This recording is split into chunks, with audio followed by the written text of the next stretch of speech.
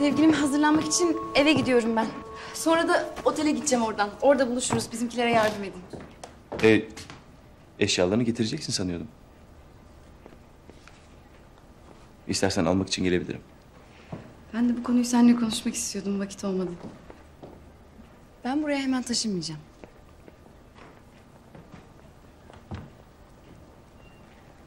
Ne oldu? Bir sorun mu var? Bir süre daha böyle olacak. Oradan oraya taşınmaktan yoruldum biraz. Sen istediğin zaman gelen, istediğin zaman giden bir insan olmaya, buna üzülmeye dayanamıyorum artık. Ben seni hiçbir zaman isteyerek üzmedim. Bunu biliyorsun. Üzmem de. Ama yaşadığımız şeylere de sebep olanları biliyorsun. Evet ama lütfen Seyit. Anla beni. Bana biraz zaman ver.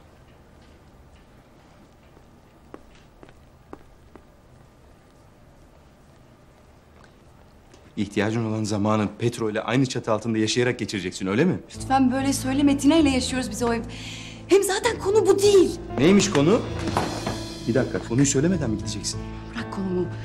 Konuşmak istemiyorum şu anda Seyit. Şura şimdi şu an. Söyle git. Bekliyorum. Peki.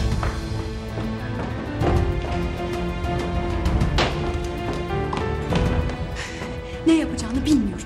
Konuşmuyorsun benimle. Kafanda kararlar alıyorsun. Bana söylemiyorsun. Hiçbir şey söylemiyorsun bana. Ölümden dönmüşsün bu konu hakkında bile hiçbir şey söylemedin bana. Tesadüfen öğreniyorum. Bazı durumlarla öğreniyorum ne düşündüğünü. Ee? E'si benimle ilgili, bizimle ilgili ne düşünüyorsun bilmiyorum. Bundan sonra ne olacağımızı biz burada bir aile mi olacağız? Yoksa yine bir sebeple göndermek mi isteyeceksin beni? Bir sebep mi? Ben seninle ne konuştuysam anlıyorum ki senin tarafından anlaşılmamış. Öyle demek istemediğimi sen de biliyorsun. Şura. Dün geceden sonra konuşmaya ne gerek var? Tabii ki benim yanımda uyanmanı istiyorum. Petrol'ün evinde uyanmanı istemiyorum. Daha açık ne söylenir? O ev sadece Petron'un evi değil. Tina ile ben yaşıyoruz, üst katta yaşıyoruz biz. Ayrıca Tina'yı yalnız bırakmak istemiyorum. Tina ne olursa olsun her zaman benim yanımda oldu. Hiçbir zaman beni yalnız bırakmadı.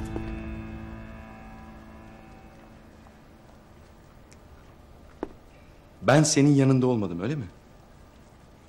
Hı? Ben senin yanında olmadım öyle mi? Bana bakar mısın? Herkese, her şeye rağmen yanımda duracağını bilmeye ihtiyacım var Seyit. Konu sadece.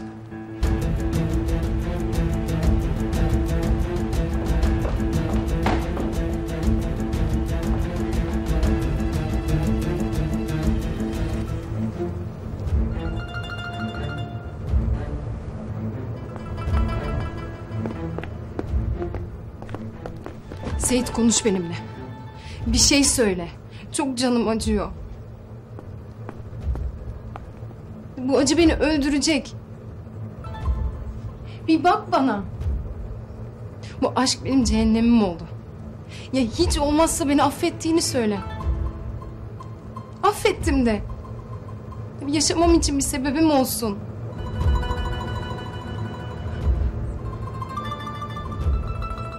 Çekil önümden Ayşe. Kurt Seyit Kurtçuk. Ali dayı nerede? yukarıdan hemen çağırayım. Hadi bak. Bırak, bırak tamam yok bir şey. Yok bir şey, yok bir şey tamam. Yürü Mürvet. Mürvet. Ee, peçetelerle ilgili bir sorun mu oluştu? Tekrar temizlenmeye geldi. Mürvet ne bilsin? Yürü. Akşam otele dönerken peçeteler tekrar bir sebeple düştü mü diye merak ettim. Eğer öyle bir şey varsa üzülürüm.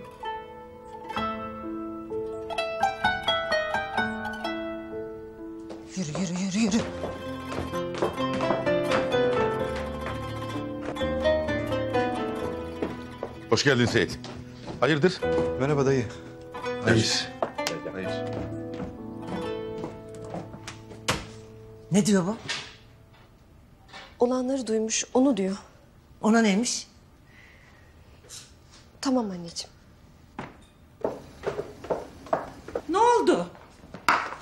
Ana kız konuşuyoruz. Gel yavrum. Otur da yemeğini ye.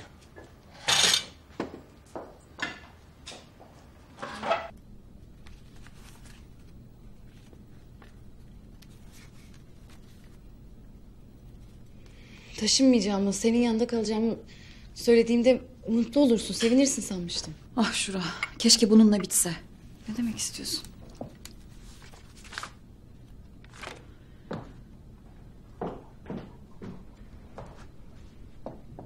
Sen Kurt Seyit'e koşmaya her zaman hazırsın.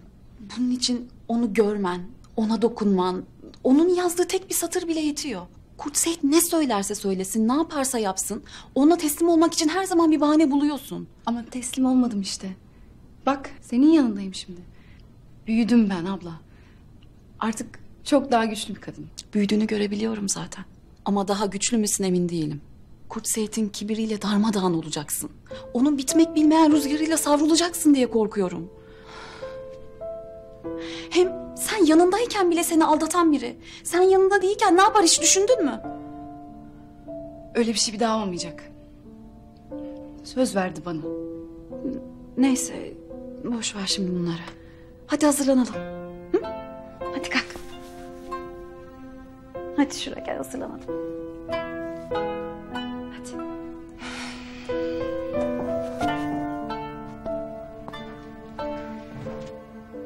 Şurayla bir an önce evlenmek niyetindeyim. Aman şükürler olsun. Yani çok sevindim oğlum. Hakikaten çok sevindim. İstiyorum ki hazırlıkları beraber yapalım Ali dayı. Ee, kimseler duymasın. Laflardan, gözlerden uzak kalalım. Malum. Sen hiç merak etme oğlum. Hiç merak etme. Şu hengameyi bir atlatalım. Hemen girişiriz düğün hazırlıklarına. İnşallah. Ee, peki Şura? Şurada binecek. Ona sürpriz yapacağım. Ee, bir tek Celil'e söyleyeceğim. O da sefarethanedeki nikah işlemlerini bizim yerimize halledecek. Sen bana güvenebilirsin oğlum. Hiç merak etme. Sana düğünün en güzelini yapacağız. Kimse engel olamayacak size. Aranıza giremeyecek. İnşallah. Sağ ol dayı.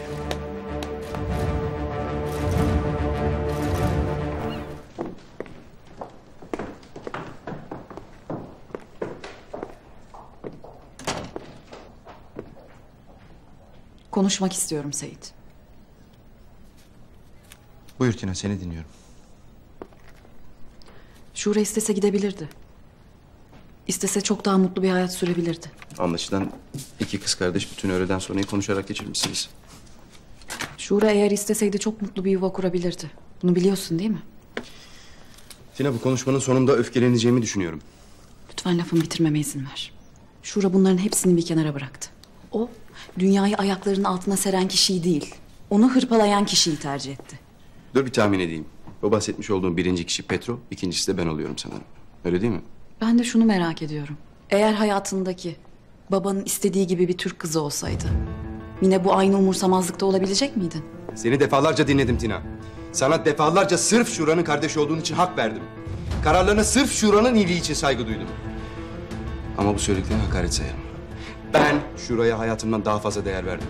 Bunu bilmene rağmen kelimelerini ve cümlelerini özellikle beni kırmak için kullandığını farkındayım. Değer verdin. Şure'ye değer verdiğin için mi onu bir hayat kadınıyla aldattın? Artık daha fazla izin vermeyeceğim buna. Ne sen, ne senin teyzen, ne Petro artık Şura'yı zehirleyemeyeceksiniz. Ben onun iyiliği için. Tek bir kelime bile etme. Yeter. Ne oldu? Bizim Seyit'le konuşma fırsatımız olmamıştı. Ona bir merhaba demek istedim. Sesinin titremesine bakılırsa... ...bu konuşma hiç de sohbet şeklinde geçmemiş galiba. Ben gideyim. Siz hazırlanın.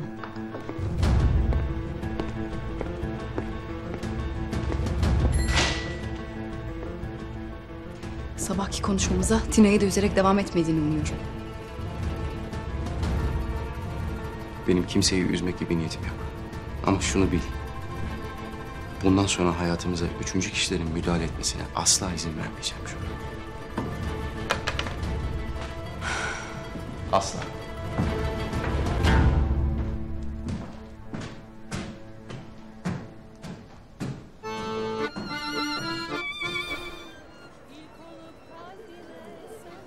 Tamam tamam tamam tamam hadi yeter. Yeter bu kadar. Bakması da günahtır maazallah. Hoş geldin. Sana doymak için ömrüm yetmez. Aşkın bitmez, tükenmez. Görüyorsun değil mi? Bir kaşık suda boğacak Şümra. gözlerin Bütün leş kargaları burada desene. Ee, içki yok mu? Burada burada. Hayatım karanlık benim Aşkla inleyenim Bağrımda akıyorken kan Gel kalbime dolan Lütfen. Uzun saçlarım Seyit bu gece olay istemiyorum lütfen. Artık bu sene kalsın. Saadetimizi herkes kıskansın. İlk olup kalbime sen sona kaldın. Gözlerine kalbim muhafaza olsun. İçimde aşkınla sevginle dolsun. Sana Ben şuraya bakayım. için ömrüm yetmez. Aşkın bitmez tükenmez Biri gelmedi mi daha? Nasıl olsa gelecek.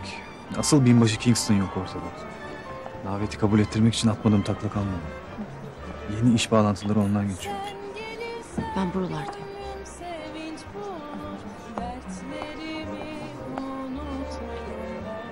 Ben gittikten sonra bir tatsızlık olmadı değil mi? Yo niye olsun ki? Ya ben çamaşırhanede seni yalnız bırakınca huzursuz oluyorum sadece. Abla abartıyorsun. Artık bu konuda konuşmayalım tamam mı?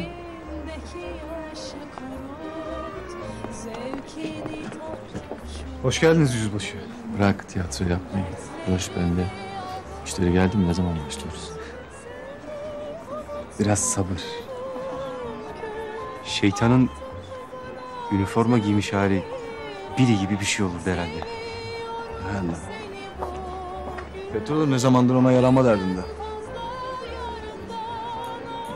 Yakışmışlar. Bunların kafalarını alacaksın böyle yumurta gibi birbirine tokuşturacaksın. Aman sen. Bak bu gece kazası belası atladın tamam mı? Şurada mı tembih etti? Hayır.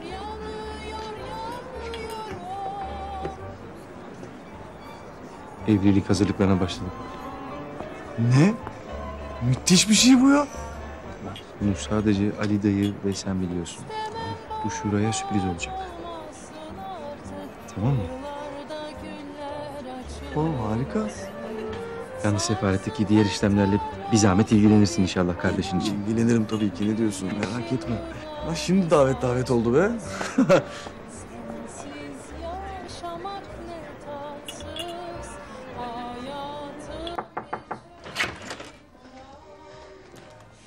Emine Hanım sen çerkez tavuğu yapmamış mıydın?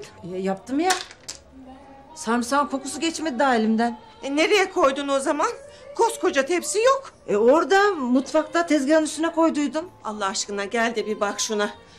Meraklısı çok onu sorarlar şimdi. Dört dönüyorum yok. Mürvet. Ben beş dakikaya gelirim kızım tamam mı? Bana bak sakın. Sakın dışarı çıkmak yok tamam Tamam.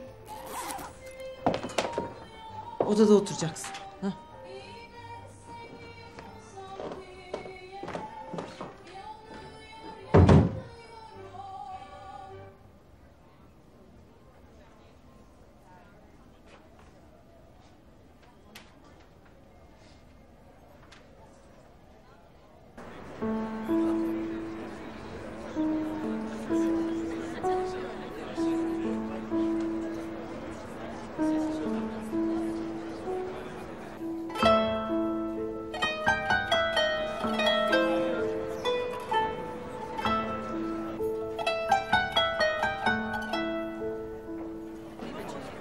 Annen diyor ya Fera'daki niye diyor belirsiz kadınlar diye. İşte onlardan.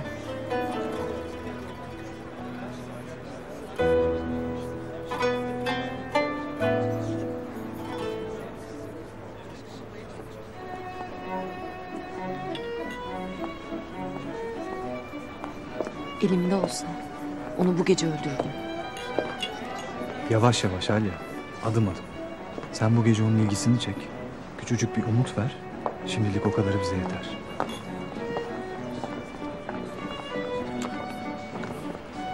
Bolşevikler Kuvayi Milliyecilere yüklü miktarda silah göndereceklermiş. Para yardımı da yapacaklarmış. Yok canım daha neler. Bir millet için ölüm kalım savaşı söz konusu. Yardımın nereden geldiğinin bir önemi yok. Bence de. Yardım gelsin de. Bolşeviklerden görmediği zarar kalmayan siz ikiniz mi söylüyorsunuz bunu? Hayır çok şaşırdım doğrusu. İzninizle. Geliyorum.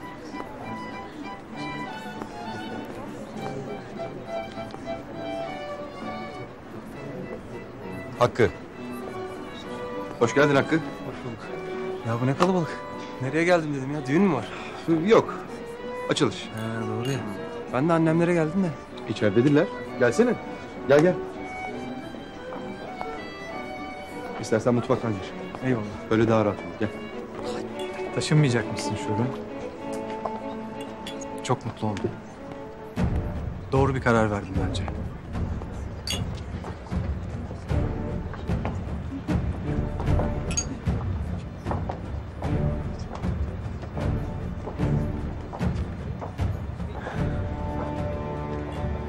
Petro Borinski. Doğru karar uzmanı. Her zaman, her yerde doğru insanlar. Sonuç ortada. Kalan zamanımda da hayat kurtarıyorum Seyit.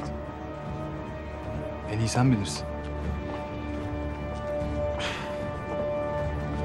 Sen şunu iyi bilirsin ki sana borcum olacağını bilsem o ilmiyi hiç düşünmeden kendi ellerimle boynuma geçirirdim. Sen bana bir iyilik daha yap. Benim kellem için yapmış olduğun harcamaların listesini çıkar. Çamaşırhaneye bırak. Bir daha da yapmış olduğu iyilikleri ulu orta konuşacak kadar düşme. Anlaştık mı?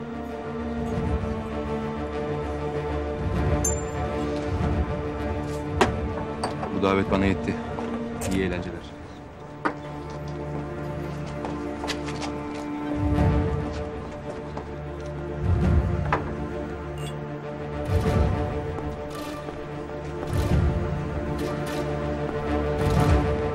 Sevgili misafirler, gecenin en keyifli kısmına geldik. Dünyalar güzeli Bayan Tina bize meleklerden haber getirdi. Piyano ziyafeti için sizi salona davet ediyorum. Buyurun. Ne taraf? Ne taraf? Nereye Unutmak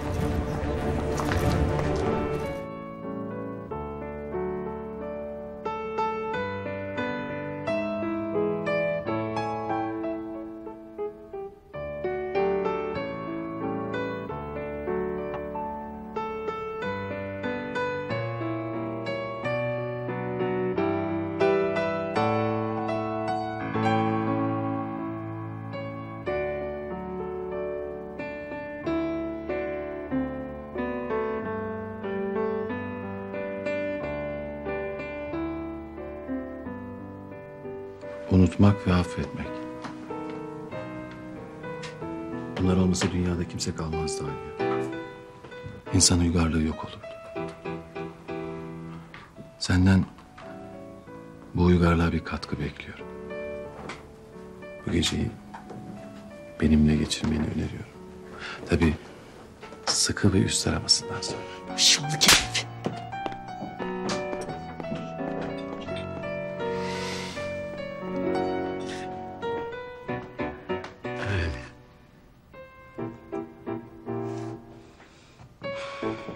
Şura sen iyi misin? İyiyim. Üzülme lütfen. Şimdi gidip Seyit'le konuşacağım. Gerekirse özür dileyeceğim.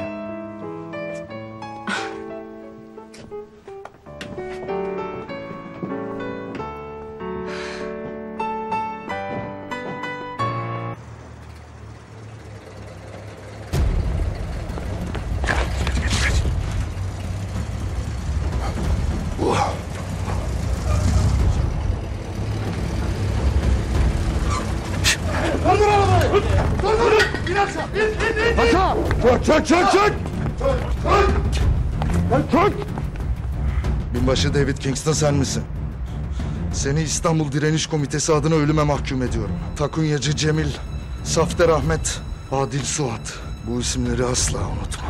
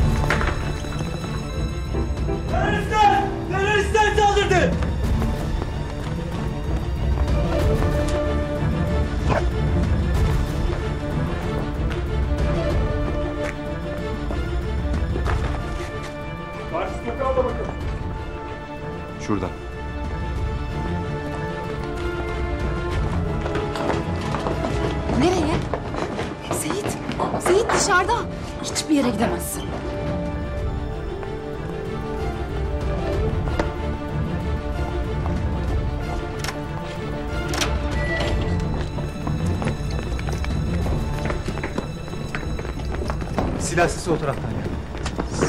Ne yapıyorsun?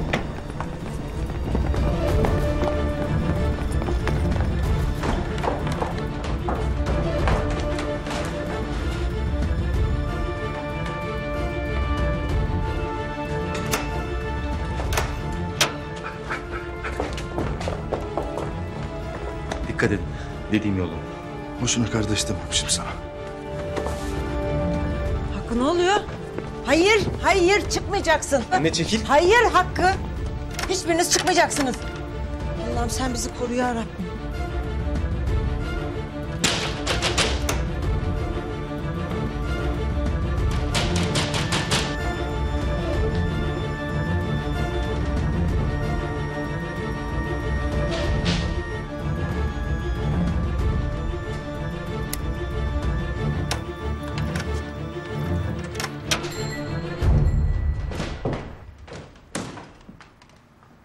Yine ne istiyorsun Petro? Gittiler mi? Kim gitti mi? Kim? Seyit. Ne yaptığını biliyorum. Binbaşıya pusu kuran adamları sen kaçırdın. Aferin sana. Aferin. Şimdi hemen git bunları o dostun Billy'e yetiştir. Doğru ya.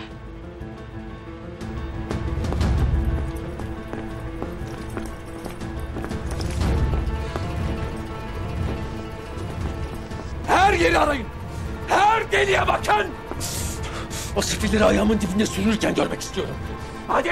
Hadi! Sen kal. Ateşle oynuyorsun Seyit. Tanıdığın herkesi, kurduğun her şeyi tehlikeye atıyorsun. Seni kurtarmak için insanların onca ay neler yaptığını, neler çektiğini bilmiyorsun. Sen her fırsatta anlattıkça bilmemek ne mümkün. Bu akşam o ifade biraz yakışıksız kaçtı. Ama ben aslında... Uzatma Petro. Git. Ne yapmak istiyorsan onu yap. Düşüncesizlik, nankörlük senin iliklerine işlemiş.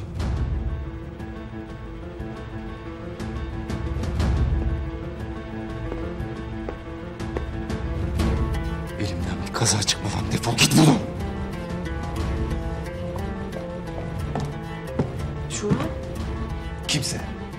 Şura bile senin umurunda değil. Kendinden başka kimseyi düşünmüyorsun. Ateşin aileni yok etti. Burada da bizi kül edeceksin. Seyit! Seyit! Ne yapıyorsun bırak? Seyit ne yapıyorsun? Seyit bırak! Karışma! Seyit! Petro sadece senin iyiliğini istiyor. Ne yaptıklarından pişman oluyorsun ne de sana yapılanlara minnet duyuyorsun. Varsa yoksa kırıp dökmek. Etrafındakilere acı vermek. Yeter artık Seyit yeter.